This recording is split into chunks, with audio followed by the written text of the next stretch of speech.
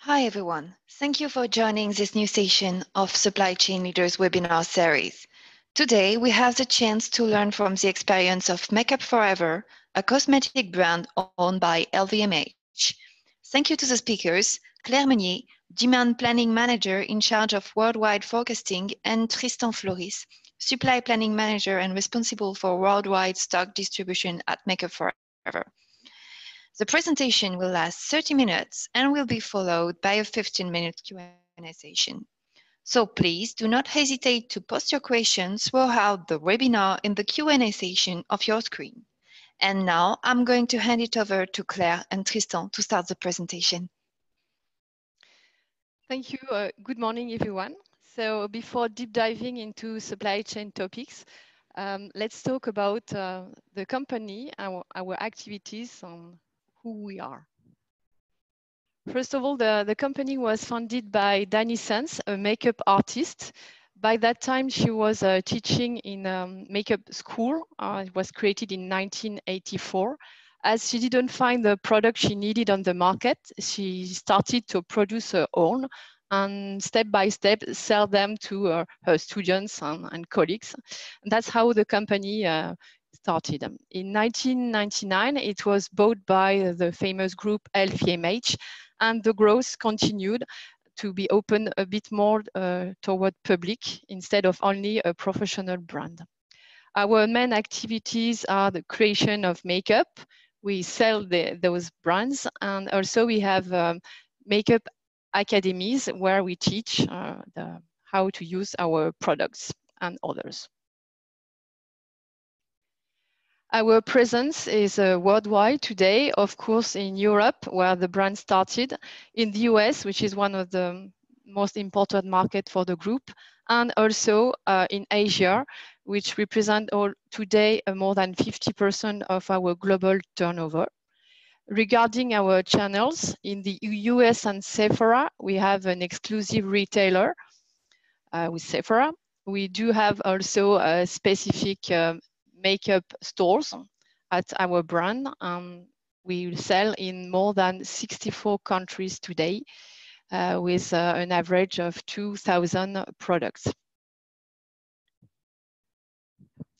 Uh, regarding uh, how our products are distributed in the assortment, it's around 20 million units per year. And most of those units are face makeup. That's our specialty, 55% of our volumes. Also eye makeup, 18%, lip product, 13%, and accessories, 9%. As you can see, we don't sell nail polish. That's the only thing we don't have uh, in the makeup brand. Uh, talking about our famous products. Um, the top seller is the range Ultra HD. This foundation was developed especially for TV and cinema because it's invisible in front of 4K cameras. We also have um, Artiste Rouge, which is another, another uh, famous franchise of the, of the company, and then the other products uh, for makeup, professional as well as public our environment. First of all, as a makeup brand, we have a very large assortment in which C-class represents uh, less than 8% of our volume, but 73% of our SKUs. Uh, this is also a market uh, driven by uh, the, the newness. That's how we compete with uh, the other brands. And we also have product with uh, short life cycles we do have long lead times between the moment where the marketing decides to start a project and the moment where it's in store. Uh, it can be up to uh, one year. And we do manage a global requirement at Make Up For Ever for all the markets, uh, which are uh, 14. And last but not least, we are, we are dealing with very uh, changing trends with a high impact of competitors, which we cannot always anticipate.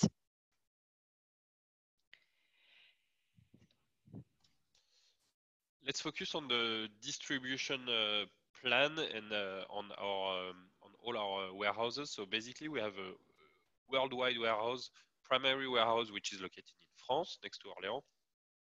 And from there, we'll serve all the direct customers in Europe and in what we call BPE, which is Business Pro Europe. And we also serve from the, this warehouse uh, local warehouses, so in the US, in Dubai, in Russia. And the structure in, Singapore, in uh, Asia is a bit different because we have first one regional warehouse. And from this regional warehouse, we'll be able to serve all the local warehouses, which are China, Korea, Taiwan, etc., etc. So uh, distribution uh, scheme is pretty pretty simple. Um, and uh, and uh, mainly focused on one main warehouse and then local warehouses. Uh, if we take a look at the okay sorry if we take a look at the structure in the supply chain team we have both the demand and supply planning team where we are organized, we have we have a kind of mirror organization uh, reporting to the supply chain direction, uh, where we are then organized by market. For example, you can have you have one supply planner for Asia, which is mirroring one demand planner for Asia, and same for other markets.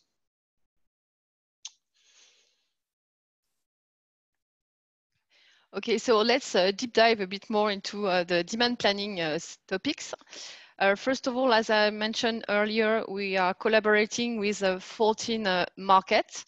Uh, today, the split of responsibility is based on life cycle. So very simply, for the launch volume definition, uh, the markets uh, are fully responsible of the volume they are generating. As soon as we have enough history to run statistical forecast, the headquarter demand planner um, is, is back in the in the responsibility um, to define uh, the baseline and then the market is providing all the animation impact and also uh, the list of uh, potential uh, shortages impact. Then once the product is uh, declared uh, as, as finished during the end of life, then the market provide us the, the last uh, volume. Why? Because they are uncountable of uh, the le leftover, if some, at the end of the product. So basically, it's also a monthly cycle, and we work on monthly buckets.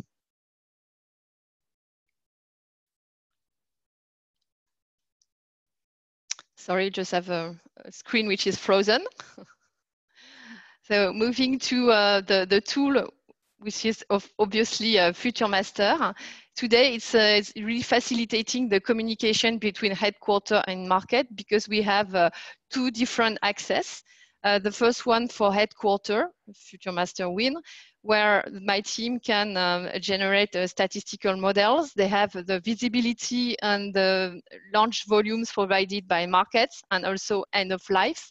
They can see the animation. So basically, they have access to absolutely everything and in parallel, simplified web access for markets where they can plug their launches, animation, and discontinuation volume. They also have access to some uh, reports in order to see uh, what's the global forecast uh, of, uh, of their, their scope. Uh, regarding the way we forecast in the, in the tool, we don't forecast at SKU level regarding the statistical projection. We aggregate all the shades of the same product below a kind of uh, uh, aggregation level. Then once uh, we have run the statistical model, the breakdown at shade level is based on the history of the past six months. Uh, like this, we are able to manage a huge range and 16,000 item market in total for my team. Uh, regarding the results, we measure it through an indicator, which is the forecast accuracy. Uh, the photo is taken three months before the actuals at SKU slash market level. And since uh, 2017, uh, the result increased by five points, which is a lot.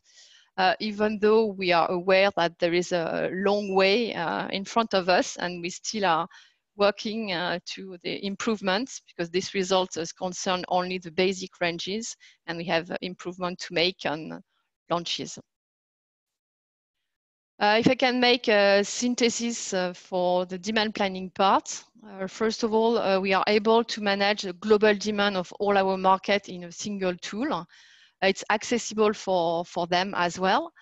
And today we perform the statistical modelization through exception as we cannot go through all the ranges uh, every month. And that's uh, really convenient for us. And clearly it's, it's working. What are the next steps? The first and most important one uh, is to be able to valorize those forecasts in units, in turnover, uh, in euro and also in local currency to be able to map them with the budget, which is only uh, delivered uh, in turnover. Second, uh, as I mentioned uh, in the, the previous part, improve the launch process. Today we are really over forecasting as the market won't take any risk and also find a way to better use the sellout data, which are in fact um, an, an, additional information which is helping uh, the team to uh, take the right decision concerning uh, modelization. So that's all for demand planning.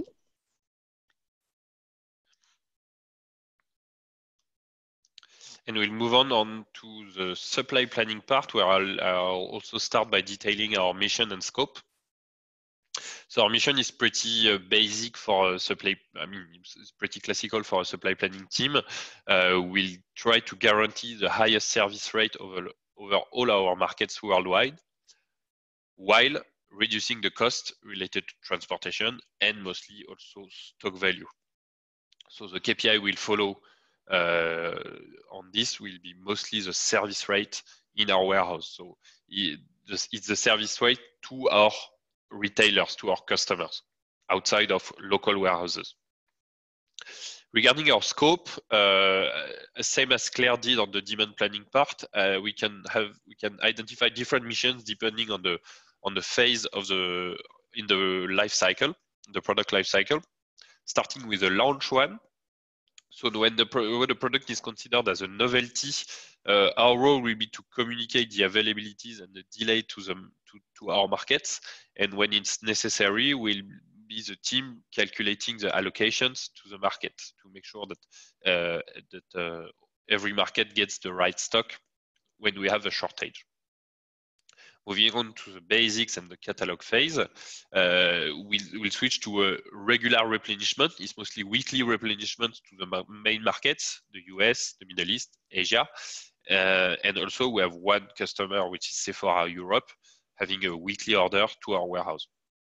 So our team, uh, our role to, will be to make sure that these replenishment orders are optimized and that the or uh, counterpart in the in the local warehouse have the right level of information. There are also products that we can't manage as a week, weekly replenishment order, and those are the one what we call campaign uh, management items. Those will be the gifts, the large contents, kits, well, anything that cannot be that will not be managed as a as a regular item. And we also follow up on those items to make sure the campaigns are optimized. Last phase of the product is the end of life. And the follow-up of end of life will be for us to make sure that the stock landing is the best in our primary warehouse and also in the local warehouses. So meaning that we have zero stock basically at the end of life, but while maintaining the service level until the end of the product.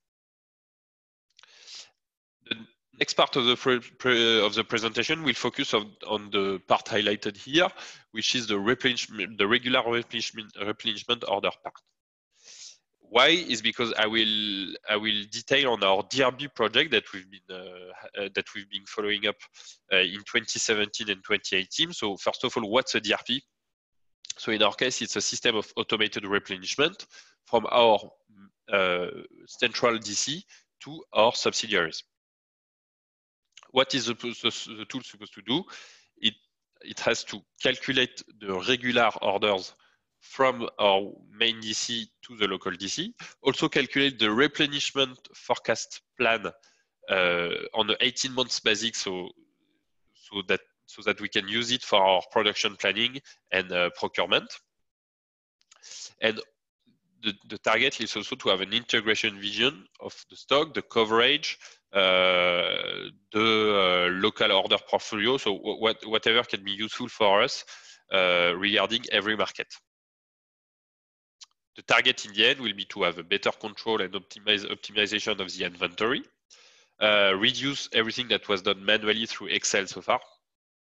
So in both the weekly replenishment and the distribution plan, and also have a faster and more efficient communication from between central and local warehouses. The project was called Bison.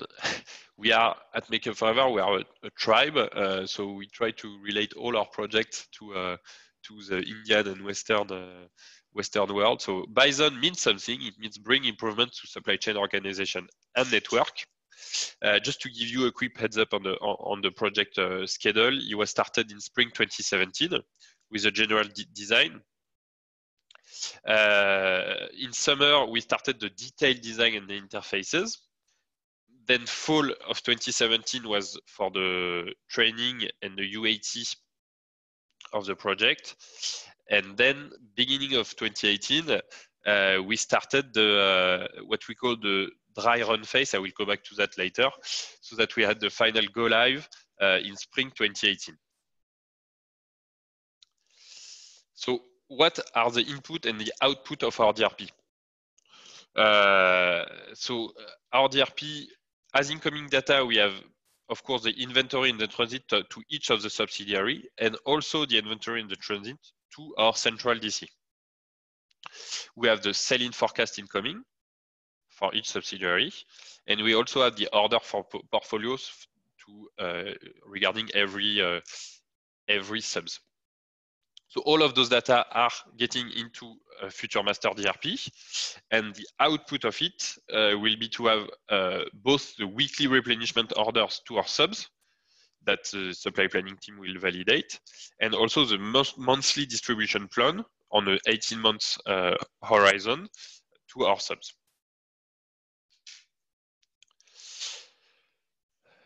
What is the status as of now on the DRP? Uh, so the weekly replenishment order has been open for now more than six months. Uh, so yeah, eight now, now it's eight months for both US and Russia. So this that's a flow that is under control and that uh, we've been running for a while now. Uh, what is new also in the in today's DRP is the fact that we have an instant visibility on both local stock and local coverage. That's something completely new for us. We started implementing new new KPI follow-up. Uh, first one is the change ratio. I just gave an example of the change ratio for Russia that is that is uh, highlighting the fact that uh, when we started the uh, to follow the KPI, the change ratio was quite high. So the, the tool was very new to the team, and uh, our Russian uh, partners were still reviewing lots of order, and we see that we've been improving this through to the fall to reach 8% of of change ratio as of now. in December, I don't have the data for January right now. Regarding the fill rate, uh, the fill rate has been increased as well uh, during the second semester. Uh, well, the main reason of, of, it is the fact that we've been having better stock availability in our central DC, but I wanted to show that uh, the, the DRP has also helped uh, improving the service level and the fill rate. What would be our next steps for the DRP? We have different uh, steps that I will I will develop a bit more, but our main project for the first semester of 2019 uh, is to deploy the DRP over Middle East. That's a project that just uh, kicked, that was just kicked off uh, last week, so it's pretty it's very new, and we hope to have it live by the end of the, of the semester.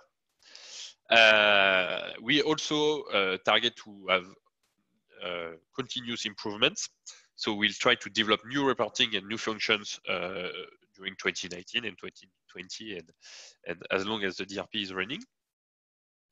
Uh, we may define new flow also. Uh, by, by new flows to be defined, I'm referring to some uh, Asian markets that are currently served by Singapore and that are uh, included in Singapore DRP.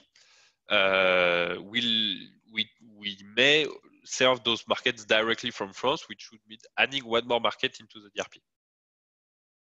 And the last one that I would like to highlight is to open the distribution plan interface. So you may you may uh, you may uh, remember the fact that we have two main outputs from the DRP. The first one is the weekly replenishment. This has been running for a while, which I, as I showed in the previous slide. But the monthly distribution plan, uh, for technical reason, is not live yet, and that's also a part for the first semester uh, of 2019, even the, the first quarter is to open distribution this distribution plan to have it directly interfaced from FuturMaster into our ERP, ERP so that uh, our production planning team can run then MRP and calculate all the procurement. So that's so our two main projects for S1 2019 will be deployment over Middle East and distribution inter plan interface to open. Our key learnings on the DRP, two main things I would like to highlight on. Of course, the UAT have been key uh, to the success of the project. Uh, those have been run uh, uh, in the fall of 2017, and those were key to make sure that everything was running smoothly. But something was also new to me, and that was suggested by FuturMaster consultants, is the phase of dry run basically this phase was was a kind of UAT, but with all the live data. So actually, we activated all the incoming interfaces without activating the outgoing interfaces.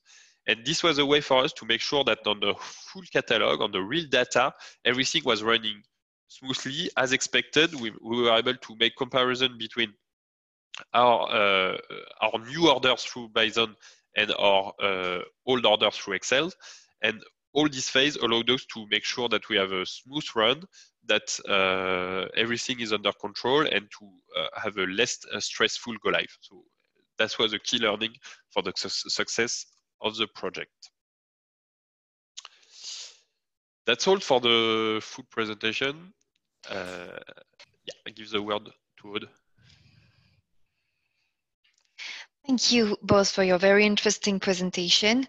Uh, we received many questions from the attendees. We are going to try to answer to as many as possible during this 15 minutes Q&A session. So the first question we received is about the life cycle. What is for you a short life cycle?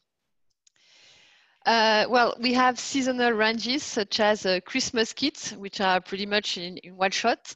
And today, 20% uh, of our products have less than one year of existence, meaning we absolutely can't use uh, any statistical projection. 30% have less than two years. So I would say below two years, it's really a short life cycle. It's rather difficult to do another forecast than a manual one. Okay, thank you, Claire. Uh, how are the, are the team feeling locally about the use of FuturMaster? So it's a question, I guess, for both. Uh, okay, so I'll start on the demand part. Well, actually, it depends on the market. Uh, usually, our contact in supply chain uh, are rather comfortable with uh, that kind of tool. But sometimes uh, we don't have supply chain uh, people locally. We have the marketing, and it can take time, I would say, to train them because they're not used to it. regarding the supply planning part, is also depending on the on, on our contact so far the the the, uh, the system is running for two subs, Russia and the US. Uh, the team is the US is a bit uh, more mature and uh, uh, there is more staff as well. So I would say that the transition with them was has been easier. For Russia, it took a bit more time for them to to get used to uh, to the new system and to trust the proposal by the system, but we are getting to it. Okay, thank you. Uh, we received another question, I guess, for you, Tristan.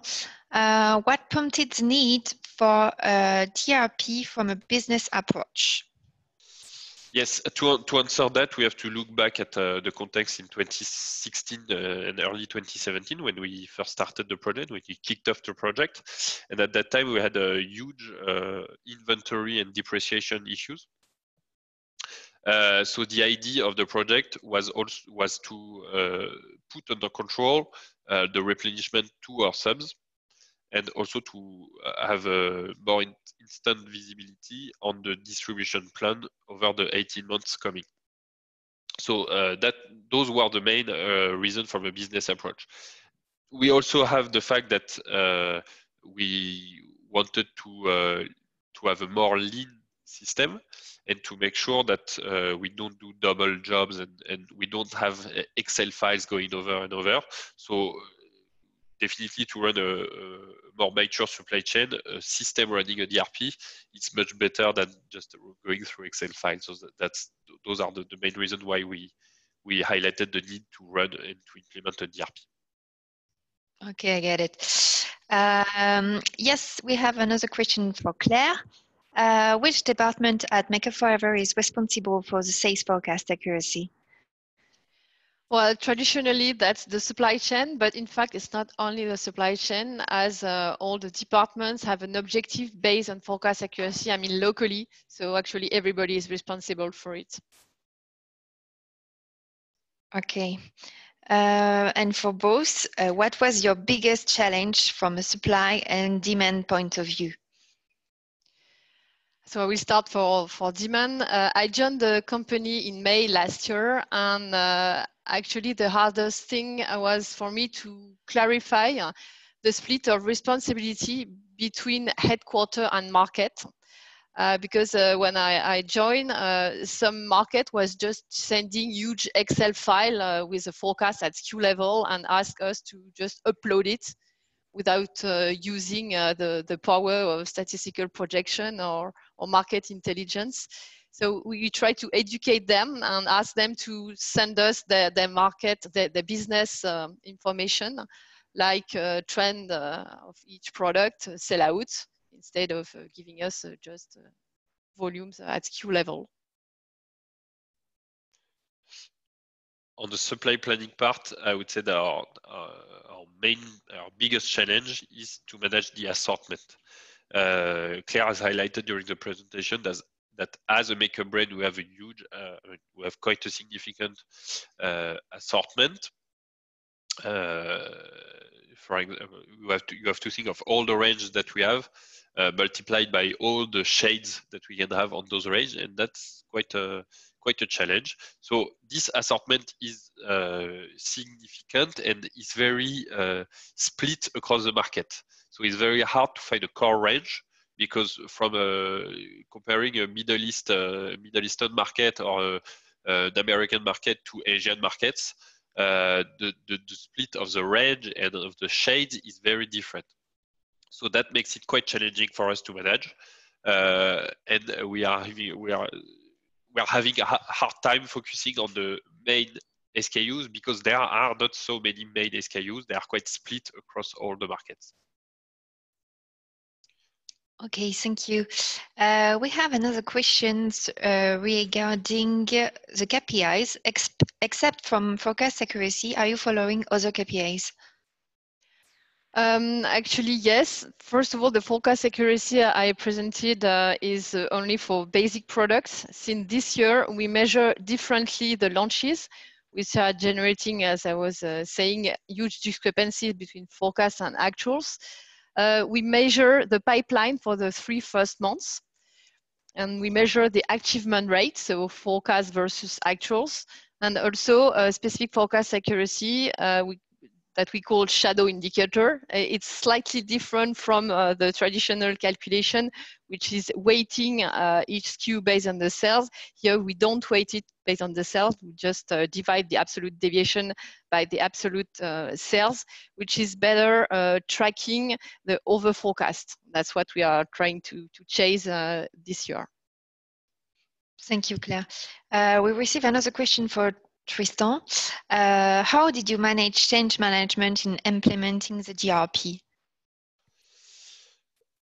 Two main, uh, two main uh, tools we had uh, to manage to, for the change management. first one is basically a regular call that we had with our uh, counterparts in in the in the local subsidiaries because the users are either in the central supply chain team, so my team, or in the local supply chain teams in every subsidiary. So the uh, the central supply chain team was definitely in all the workshops that we had to define the to define the new uh, the new solution, the new system. So they were really involved and in the system from the beginning. Uh, but the local supply chain, uh, they are definitely further. They could not attend to workshops. To, so to make sure they're still on board, we had uh, mostly with the US because this is the most key market.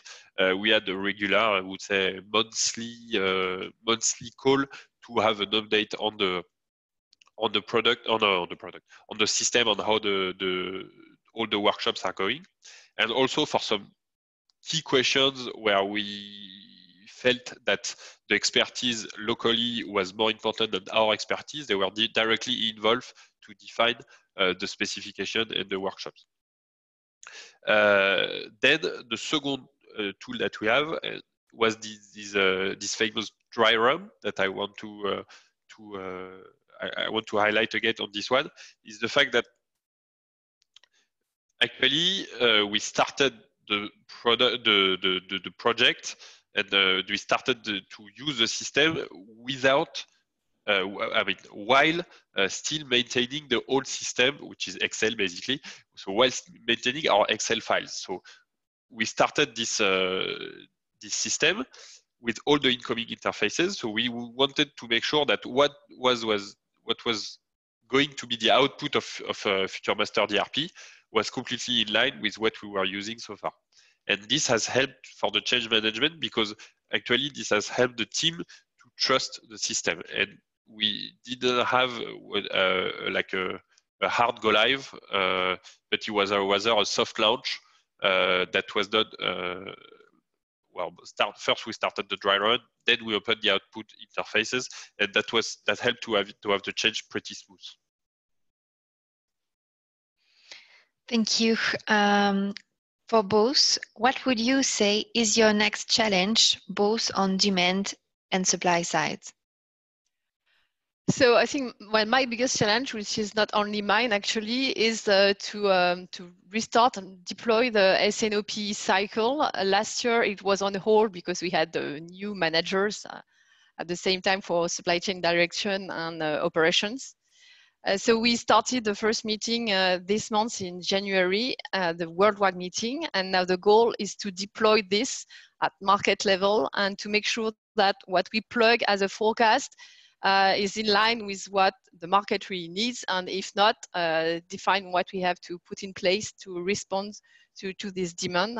As uh, today in some business unit, they really work in silo. There's somebody defining the budget, and in parallel, somebody else sending uh, volumes which are not necessarily in line. And it will be also a good way to track the gaps and help uh, the, the markets to uh, maybe close the gaps, uh, generating new animations and so on.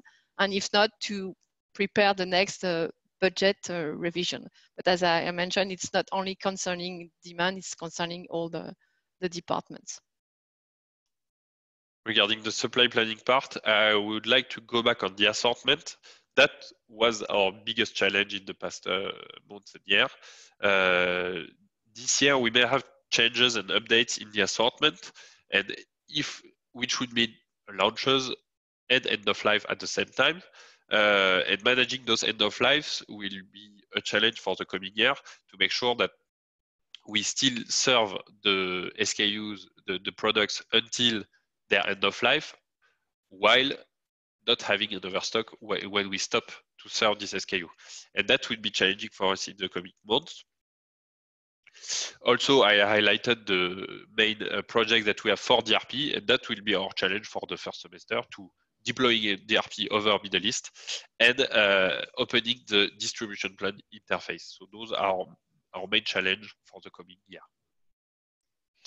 Talking about DRP, uh, why did you choose FuturMaster for this DRP project, Well, we had a request for quotation, uh, looking uh, over the, the, I would say the microcosm of all the system being able to run the DRP uh, uh, for supply chain. Uh, we had a first one that was more a BI system, so we, we, we didn't go much deeper into this system. But the other option that we had uh, was to open uh, a DRP in our ERP. ERP. We are not running SAP as a as an ERP, but we are running Axapta. Uh, and so those are our two main options: were to run directly the, the DRP in our ERP or to use FuturMaster. Actually, uh, the DRP in Axapta is not really at the level that we expected. While for FuturMaster, we had uh, a presentation from another uh, brand in the cosmetics industry, which is running uh, FuturMaster as a DRP. And actually, the presentation was quite good and quite interesting. And, and we felt that it was really answering our business needs. And on top of that, obviously, we were already running FuturMaster as our demand planning tool. So in the end, the most logical and most and, uh, and uh, obvious choice was for us to run FuturMaster. Thank you. Um, we have another question. Uh, how do you manage shortages with FuturMaster? Well, the, on the demand side is, is pretty simple, nothing very sophisticated. Um, we receive the out of stock impacts from our market. We receive them because we don't have any central ERP.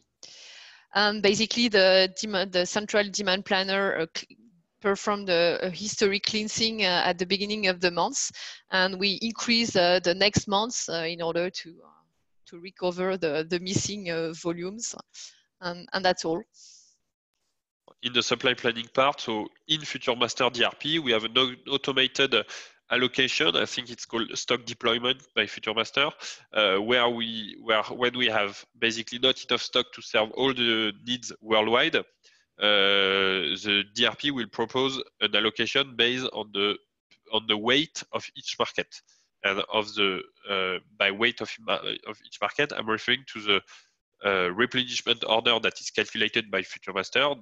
So the DRP is taking all those uh, replenishment orders and based on the percentage of all these orders, each market will receive the dedicated stock they need. Sometimes when we have specific uh, situation when we need to uh, uh, serve more one market than, than another, we'll have a manual allocation done outside of FuturMaster when we'll force the orders uh, to each market. And in this case, we cannot use uh, the FuturMaster allocation because we don't want to, to use the automated percentage calculation. Okay. Uh, still on DRP, uh, I guess it's really an interesting topic today.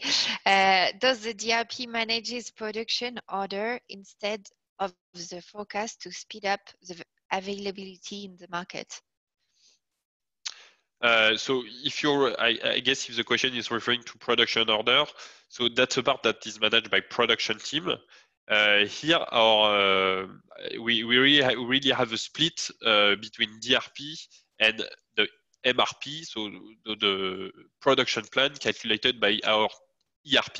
So here, the, the, when we implemented the DRP, we already had an MRP running in our uh, in Axapta. And the idea of the DRP was not to replace it, but just to uh, to uh, to uh, to change the way we input uh, the data for the production planning. So the, the, the, main change on the production here is the fact that we don't uh, we don't receive the production plan from each of the subsidiaries, but FuturMaster will do it for us, will calculate it for us, and once we activate the interface, it will be automatically interfaced from FuturMaster into our ERP Axapta to run the production planning. But we don't calculate the production plan in FuturMaster. Okay. Uh, thank you. And we have another question um, about SNOP. Um, you are, are you using an SNOP right now? And if not, are you planning to use one in the future?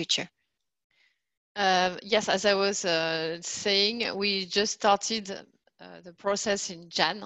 So yes, it's back on track now. Okay, thank you. And uh, last question, and we will close uh, this uh, webinar. Uh, how do you net the inventory? Meaning you have a demand, but before handing it over to supply, the inventory needs to be subtracted to the demand.